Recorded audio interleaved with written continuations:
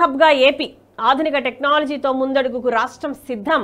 మార్గనిర్దేశం కోసం దావోస్ వేదికగా వరల్డ్ ఎకనామిక్ ఫోరంతో ఒప్పందం.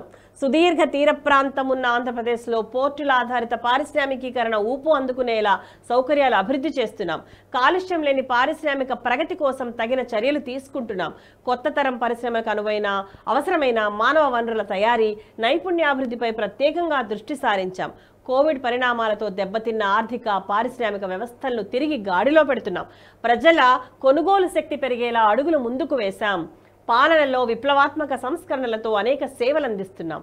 పలు రంగాల్లో త్వరితగతిన మౌలిక సదుపాయాల కల్పన లక్ష్యంగా పెట్టుకున్నాం.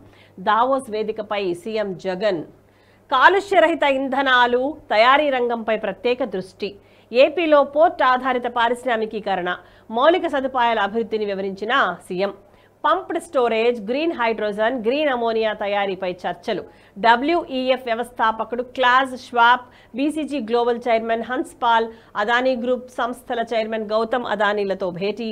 విద్యా వైద్య రంగాల్లో ఏపీ ప్రగతిపై పలువురి ప్రశంసలు. అది. తయారీ హబ్గా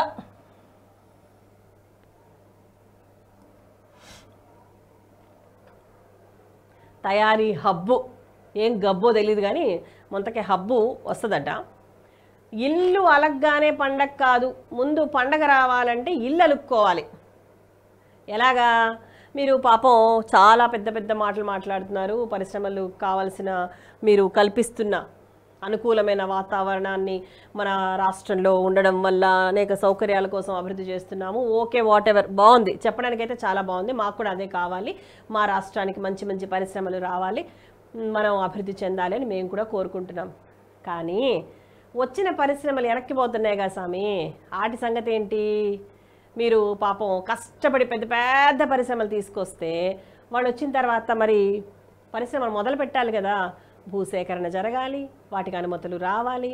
మళ్ళీ అక్కడక్కడ మీ నేతలు ఉంటారు కదా ఆ నేతలకి కమిషన్లకు సంబంధించి మరి అనేక కార్యక్రమాలు ఉంటాయి వాళ్ళ దాడులు ఉంటాయి ఒత్తిళ్ళు ఉంటాయి ఇవన్నీ తట్టుకొని ఆ పరిశ్రమలు అక్కడ ఏర్పాటు అవ్వాలి ఏ పరిశ్రమ సంబంధించిన వాడైనా ఏ వ్యాపారవేత్తైనా ఒక మంచి వాతావరణంలో ప్రశాంతంగా ఒక పరిశ్రమని కట్టాలనుకుంటాడే కానీ ఇలాంటి ఒత్తిళ్ళ మధ్య రావాలని ఎవరు అనుకోరు.